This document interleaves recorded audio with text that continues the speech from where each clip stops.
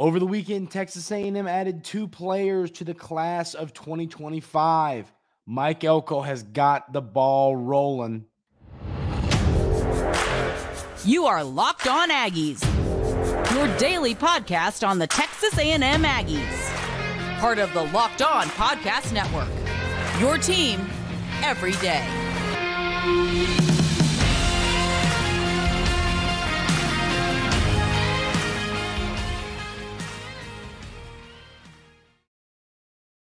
Welcome on into Locked On Aggies. I'm your host, Andrew Stefaniak. Thanks for making Locked On Aggies your first listen every single day.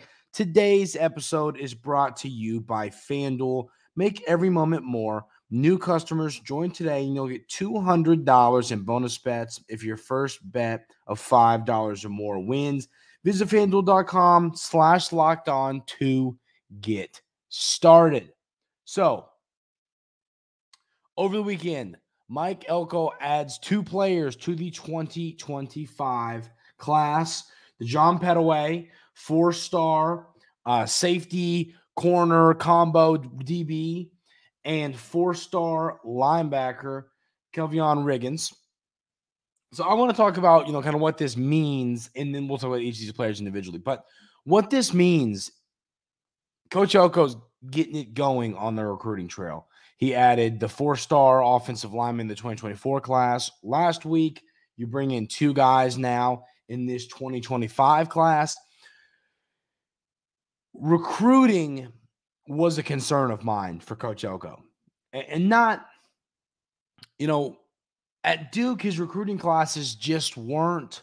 And it's not his fault. I mean, it's just it was it's the re, I think it's the reality at Duke. At Duke, it's just it's hard to recruit at a high level. You know, there's just a lot of Duke isn't the place unless it's unless it's on the hardwood that that there's a lot of good recruiting going on. So it wasn't a concern, you know, I had for for Coach Elko because we knew, hey, he doesn't need five stars to win at Duke. You know, hopefully that'll be the case at A and M, but he will have this talent, and, and that was kind of my my thought was a&M sells itself, the SEC sells itself. Um, you know, the the support financially Texas A&M has on the recruiting trail support uh, helps itself. So what I what I'm kind of getting at here is I I thought that Coach Elko, even if he recruiting maybe wasn't his strong suit as a coach, would be fine at Texas A&M because of all the help and support that he has. And I kind of think that that's been a reality, but I've been very impressed with what he's done. The way he he's closed with the 2024 class, the way he's starting to get going on the 2025 class. I talk about it all the time. I know it's like beating the uh, beating the drum here, but the recruiting is building relationships, and it takes a while. So Coach Elko is, is you know tried to catch up as much as he could in the 2024 class, and he is now really catching up in 2025 and starting to land some guys hopefully these additions, you know, kind of get the ball rolling. Sometimes you need that. Sometimes you need to get the ball rolling. I remember I did an episode last year. Um, around, it was right when I took over the show, you know, in in early summer, and I kind of was talking about like, should we be, uh, you know, how many Texas A&M only has? I think it was like seven commits at the time in that class in the 2024 class and I, I had some people early on in the comments saying like Andrew should should we be concerned? Not a lot of commits yet, and and so I looked back and, and did some digging on the previous history of A&M classes. You know, it's normal. Summer is when recruiting is heavy. You know, you're going to see a ton of additions this 2025 class come in in the July. You know, in those months. So no, I'm I'm I'm looking forward to how this 2025 class comes out, but you got three guys right now. It's currently ranked 21st. And I think you're going to see it climb and climb and climb and climb. But Texas A&M had two football players, and I think Coach Elko is going to prove, hey, I can recruit. So no, I wasn't concerned about Coach Elko's. I wasn't. It wasn't a, a concern about his ability to recruit. It was just, you know, he hadn't been head coach long, and he, you know, he was at Duke where he wasn't recruiting these high level players. So will he be able to do it in the SEC when he's going to be asked to get some of this top tier talent? And he's proven with what he's done closing the 2024 class and what he's already done getting rocket and rolling on the 25 class and how well he did in the portal, I think Coach Elko has proven that he and his staff can recruit. So I'm really anxious to see where this 2025 class ends up. But now, getting into these two players, we'll start talking about Deyjohn Pettaway. And he's the type of guy I, I love a defensive back who is incredibly versatile. And that is exactly what Pettaway is. He can play anywhere, anywhere you stick him, he can play. I, the, another guy watching the tape on him, and listen, you know, I want to add this point because I feel like I talk about how much I love tape all the time, but you got to remember the, these players are four stars, you know, for a reason. The tape's going to be good. The, the tape's never going to be bad. I'm not, you know, I'm not going to ever going to, and, and it's also highlight tape. So, you know, you really have to go to a game to see the, the bad plays. But speaking to Pettaway, what I loved about the tape is he can play anywhere. He, I saw him um, in the slot. I saw him at the um, natural safety. I saw him out in the um, on playing the outside uh, corner position. I mean, he plays everywhere in the defensive backfield. I saw him get after the quarterback a few times. I saw him not, and, I, and this is another thing I talk about all the time being able to help in the run game. I love when a defensive back isn't afraid to come up and, and make a tackle. There was one play where um, the running back got a, a handoff to the outside, and, and it was the only thing between the end zone was Pettaway. And what did he do? He came up and made an incredible tackle in space. He's not afraid to hit, he's not afraid to hit hard. He also is a player who had a huge offer list. I, I talk about this a lot too. And this is the same for Riggins, who we'll talk about here in a minute. But, you know, looking at this, listen to this offer list. So, first, listen to this offer list for Pettaway. Arkansas, Georgia, LSU, Miami, Ohio State, Oklahoma, Ole Miss, Oregon. I mean, it, it goes on. Everybody wanted this guy, and these, you know, the, these aren't interests. These are those are all offers. Everybody wanted this guy. Mike Elko got him. That is exciting. You know, this isn't a guy that you know had offers from Arizona. I mean, he did. I, you know, like I, he did have an offer from Arizona, but I'm saying like it wasn't like his offer list was, um, you know, Houston and Memphis and and um, SMU and Texas State and Texas A&M. You know, that wasn't his offer list. His offer list was the top dogs in college football, and he picks Texas A&M. That gets me excited. But once again, I love I love the versatility. I love that he's he, he's he's a sound tackler. He's not afraid to tackle in space. He's not afraid to to make open field tackles. And, and that's going to be huge. You know, sometimes, hey, when you're a corner and a running back gets outside, it's you, like I said on that one play, it's you in the end zone. Um, he's also incredibly fast, which I mean, you know, you have to be. I'm not, I'm not saying that you often see a, a defensive back who's slow, but I'm I'm saying he has elite speed. There was one play where he was able to track down a player make a, a big tackle where he had to really pick up some speed and catch up to this receiver, and it was just really impressive. And, and, one thing I talk about too, and this this applies to both Riggins and Pettaway, these are two players both playing their um, that have both played their high school football in the state of Texas, and that is so incredibly valuable in my opinion. I mean, first of all, there's no better hotbed when it comes to recruiting than the state of Texas. But the state of Texas produces the best football talent. I mean, I, I would, you know, Florida, California, and Texas are the best places. Uh, so a lot of good talent, talent comes out of Georgia. But I mean, you know, good players come out of these states. And I always talk about how competitive the high school football is in Texas. We all know this. This isn't a secret. You know, this isn't a surprise talented players come out of the state of Texas. Both of these guys that we're going to talk about today, Pettaway and Riggins, both played, you know, both play in high school. So ladies and gentlemen, this is just this is a solid addition. I mean, a top 200, a top 150 player in the class in the 24/7 composite rankings, 138th, uh, 5'10, 175 is Pettaway. I, I just everything about him. Love the tape. Love the offer list. Love that he's a versatile player who can play anywhere in the defensive backfield. He's going to be a guy that plays early on in his Texas A&M career, and he's a really good football player. You know what's funny?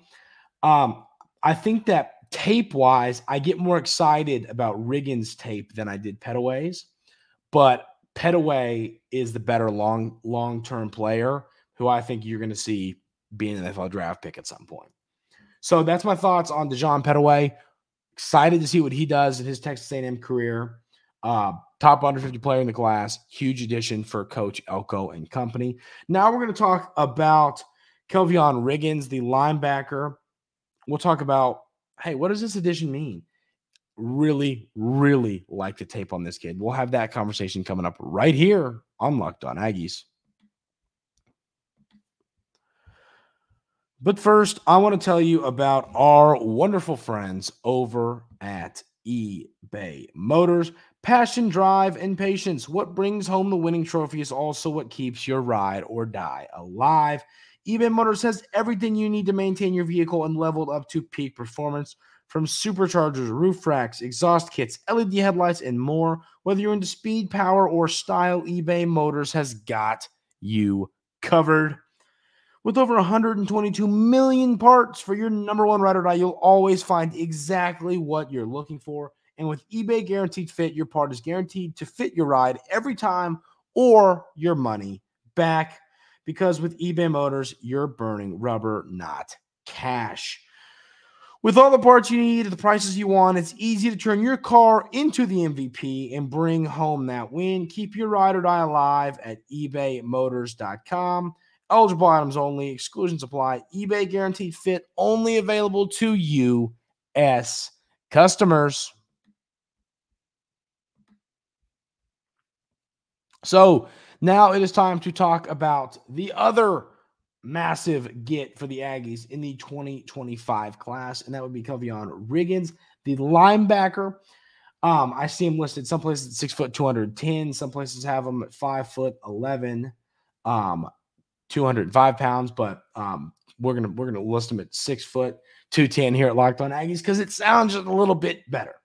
And I always love every time I see it, I gotta comment on it, but nothing makes me laugh more than the five foot 11 and a half thing.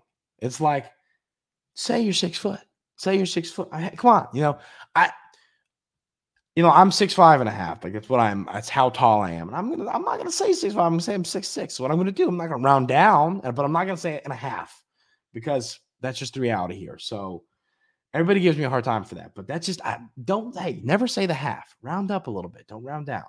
But um, like I said a minute ago, the tape on Riggins, I really, really liked. And y'all know I can get excited about some tape there was just something about he's for a linebacker, eh, and I know that you know he's not one of these like six foot one, 230 pound dudes who's, who's just a thumper and, he, and, and, a little bit slower linebacker. I know that he's not built like that, but man, is he fast.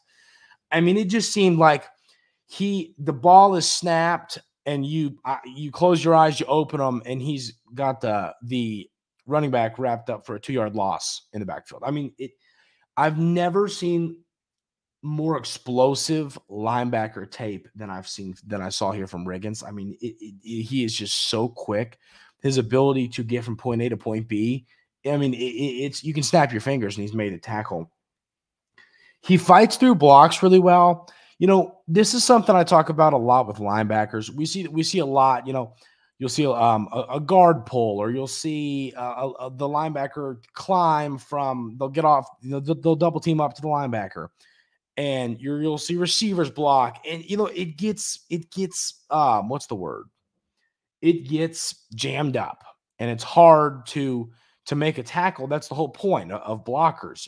But he finds a way to get through the blockers and get to the running back the quarterback, whoever has the football, receiver on the screen, whatever, and make the tackle. I love seeing that. I hate seeing linebackers get, you know, gobbled up in um, in blocks and, and, or, or not even really blocks, but just kind of get like you know in, in in crowded space and they can't fight through. He's always able to fight through and get to the tackler. That was that's one thing I always pay attention to. He doesn't get lost in the fold when it comes to a lot of players. You know, if it's a short side run or something like that, he always finds a way to sneak through and make the tackle. Um, you know, so like I said, fights through blocks well. He's an incredibly sound tackler. And I talked a little bit that with Pettaway. Pettaway, he, you know, he's not out here hitting, he's tackling. Riggins is even better. He is a, a, a I mean, just textbook wrap up, take to the ground. I love seeing that. How many times, how many missed tackles did we see last season? Uh, you know, us did that did us Aggie fans have to watch, uh, endure the pain of seeing missed tackle after missed tackle. There's nothing more frustrating. Missed tackled, missing a tackle is like missing a free throw, which we will have a basketball conversation here in a little bit. Sorry, I just can't let us have an exciting Monday. We're, we're going to talk about the basketball game, but um, m- missing tackles is frustrating. You know, opposing players breaking tackles is frustrating. The way Riggins wraps up and tackles in a sound way is going to keep players from breaking tackles, adding four or five yards on the end of runs that they shouldn't have had. That's what that and that stuff matters. I mean, you know, think about it, it's third and four, and you got a guy, he's there in the backfield, and you miss a tackle and he picks up five yards, gets a first down in the big spot. Missing tackles can cost you football games. So being a player that I watched the high school tape and he's already a sound tackler eh, uh, form wise in high school means that that is going to carry over into uh, college. So um, I love that from Riggins. And then let's go through once again the oh, and he's ranked as the 228th player in the rankings. 24 7 Sports doesn't have him ranked very high, but when it comes to the um, someone else does because the composite rankings have him 228th. But once again, let's go through this offer list because this is what I'm about. This is the stuff that matters. Arkansas, Auburn, Florida, Georgia, LSU, Miami, Ohio State, Ohio State twice. That's funny. Ohio State's listed twice here. So Ohio State liked him so much they offered him two different times. Um, Ole Miss, Tennessee, Texas, USC. I mean, everybody wanted this guy. Everybody wanted this guy, and the Aggies got him. This is what I'm talking about. This is the stuff that matters. When everybody wants a player and you're still able to go get him. That those are the recruiting battles that matter. Those are the ones that winning at the end of the day are are going to be a big deal long term. And that's what you got here in Riggins. So um and linebacker room wise, I- am really happy with the linebacker class you brought in this season, or if I'm sorry, for the 2024 class. So let's recap that here. Uh, so at the linebacker class this year, you've got Tristan Jernigan, who's a player that I am extremely, extremely excited about. Then you've also got um, Jordan uh, Lockhart. So I like the linebackers, and then in the uh, in the transfer portal, you also have uh, Scooby Williams from Florida, and then the guy I'm excited about in Alex Howard from Youngstown State. So um, the linebacker room is in a good spot, and going ahead and getting the 2025 class started with the bang in the linebacker room is another thing that gets me really excited. So, um, great addition, ladies and gentlemen. Two great additions over the weekend exciting, exciting news to bring in two players. I think Coach Elko is going to knock this 25 class out of the ball park. I'm very excited to see where it ends up and to see, you know, in, in when, we, when we get close to the kickoff and next football season where this class sits. Very exciting time to be a Texas A&M football fan, ladies and gentlemen. Two huge additions. Now, while it's very exciting to look at this football recruiting class, looking back at the basketball game, is a little bit frustrating. The Aggies lose to Ole Miss on Saturday. This is one of those games, you know. I, a buddy, a, a buddy of mine, someone I really respect in the media industry, uh, a guy named Daryl Dapprich. He's an Auburn guy. I had him on the show at SEC Media Days, but he always talks about when it comes to SEC basketball, this is or conference basketball, it's not just SEC basketball. He talks about a home win is a point. A home loss, you subtract two points. A road win, you add two points. A road loss, you subtract a point. And what frustrates me about Texas A&M's basketball season so far is they have two home losses. You can't lose home games. And you've lost home games to teams you shouldn't be losing home games to in LSU and Ole Miss. I mean, I know Ole Miss has had a better season than many anticipated. They they've, you know, I I think Chris Beard's a good basketball coach, but I, I think I thought it would take him a little bit of time to kind of get going.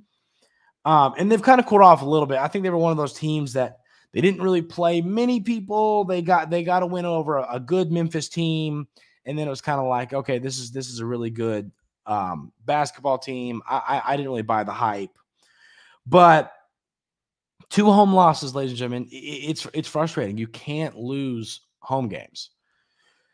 So doing that losing to LSU at home, losing to Ole Miss at home, it just puts you in a tough spot. And once again, I know there are two teams that they're middle of the road SEC teams, you know, seven and eight when it comes to um, the SEC kind of in that area. But at the end of the day, you can't lose to those teams. You can't do it. You can't lose to the middle of the road teams at home. This is getting concerning. I'll have to look at bracketology and see where Texas A&M stands because it, it's getting to a point where like, can you make the NCAA tournament? I think it is starting to get a little bit. I'm not. It, it, we're getting losing home games does not help your cause. Losing, dropping in the net rankings does not help your cause. So, I, when I look at this, this LSU game to start SEC play and this Ole Miss game on Saturday, it's not. It's frustrating, and losing a close game like that too, where Wade has 30. He's 10 to 20 from the field. And he goes, what was he, five and nine from three? Yeah, five and nine from three. It, it, it's frustrating that you're not getting any production offensively from really anybody but Wade and Boots.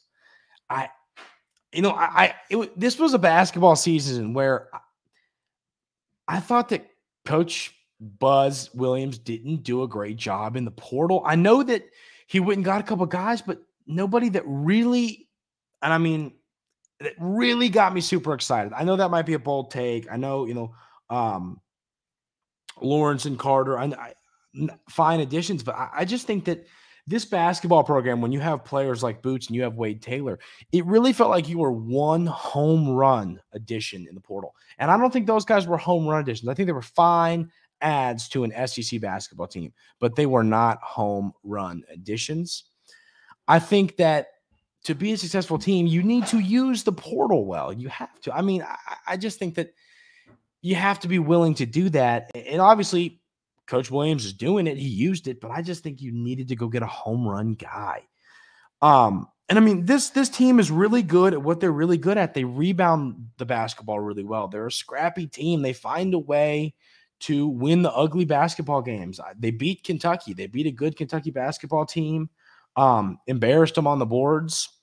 But at the end of the day, you got to be able to score. You got to be able to shoot. Shooting 39% from the field is not going to win basketball games. Going 12 of 22 from the free throw line is absolutely not going to win basketball games. You can't miss 10 free throws ever, ever. Not at the YMCA, not in the NBA, not at an intramural league. You can't miss 10 free throws. You're not going to beat anybody. And when you're playing a conference game against a solid Ole Miss team, you're not going to win if you miss 10 free throws. Um, and like I said, Ole Miss didn't necessarily have the best shooting day either. They shot 41% from the um, 41.7% from the field and from three, 73% from the free throw line. You just can't do that and expect to win basketball games. Uh, I mean, you know, you can't you can't win basketball games like that. You you do a good job holding the opponent to not shooting great from the field. Ole Miss, like I said, put up those numbers, but then you shoot like this: thirty percent from three, 54 percent from the line, 39% from the uh, field. It, it's not a winning recipe. So I don't. It's getting to a point now. How many losses that in SEC play? That's uh, one, two, three, yeah, four. I mean, it's getting to a point where I don't know what you need to do, but something has to happen fast. And it, it, it is frustrating. I was high on this team. I thought that Wade and Boots, and I know they've been fine, but I thought that the the supporting role around them, and listen, I mean Andersson Garcia, I thought did a lot well in this game. He had six, six, three, and two and a block. I was happy with that. Um, Coleman has seven boards and seven points, but at the end of the day, you're going to lose basketball games if you don't find a way to score the basketball, to make your free throws. And that's what happened in this one. Um, the Aggies lose 71 68, fall under 500 in SEC play. And it's not going to get any easier. I mean, you still got to play. You got a trip to Knoxville. You got not. You got Tennessee coming into town. You got to play a good South Carolina team, a, a, a Florida team that's fine. You got to go to Alabama. You got to uh, go a return trip to Ole Miss. You got to head to Georgia, who's been a little bit better. Mississippi State. It's not going to get any easier. So if you want to make the NCAA tournament, you need to figure something out and figure it out fast. And I think we're getting to a point where are there concerns about Buzz Williams? Are there concerns about this? I mean, I've been frustrated with this team knowing what it was supposed to be. Supposed to be a top three team in the SEC. You got the projected SEC player of the year and Wade Taylor. I mean, and this year hasn't gone great. Now, we're not going to take one year and yell at Buzz. It, it happens. I mean, it, it, look at what's going on at Arkansas right now. I, I, think Musselman, as much as I'm not a fan of his, I do think he's a good basketball coach. And, and the season over there is going absolutely horrible. Good coaches can have bad seasons. That stuff happens. But I also just think that this team should be better than it has been. Hurts a little bit. It's frustrating that um this season has gone the way it has. Can they turn it around? It'll be interesting. I mean, you got to string some wins together. You got to beat some teams you're maybe not supposed to. You got to can you sweep a Tennessee? It wouldn't be easy, but if you want to get in the tournament, you're going to have to do something before this really gets out of hand. This loss hurts. It really feels like now I think that this is a panic button loss. Now I think after this one, you got to hit the panic button on this team. But no, so those that are concerned about Buzz, yeah, you can be upset about this season. I'm fine with that. You're more than welcome to be upset about this season, but I'm not concerned about Buzz going forward. Um, you know, he he's not the type of coach that's going to bring in five stars, and I mean, you know, that's just not how he's how he's built. He's not going to bring in these super exciting guys. He's going to build his team, keep guys around for three, four years, and and and have an old team that plays gritty basketball, rebounds well, and you know, and, and scores baskets around the rim. That's what he wants to do. So no, I'm not concerned long term about Buzz, and I don't think anybody should be. But you're more than welcome to be frustrated with this season, as I am. But hopefully, like I said, this week you got uh, Florida, or hold on, you got yeah, you got Florida coming up this week. Um, Missouri got a trip to Missouri. Then you got Tennessee coming up Saturday the 10th. So tough basketball games coming up, ladies and gentlemen. But if Texas A&M wants to make the big dance, they're going to have to string some wins together. That is going to do it for today's episode of Locked On Aggies. Thank you all so much for tuning in. Everybody have a great rest of your day, and we will see you tomorrow.